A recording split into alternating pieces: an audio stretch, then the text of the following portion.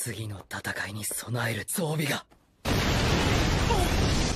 電車お久しぶりですね緑谷君。危機感値が反応しなかった。渋さだったしな。どうもすみません。何かご用ですかお二人さん。コスチュームの修復をお願いし頼めばいいじゃないですか。機能してないんだよだからサポート。そうなんですか。通りで。え？外で起こっていること何も知らないの？え？様相が変わりましたね。ミッドガントレット。海外の試作品で。急ぎですか？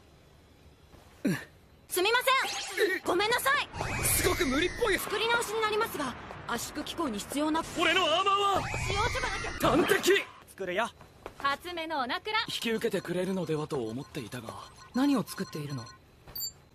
飛んだすごく発明も携わってもらって避難発動時の新機構と発想は得意だからね。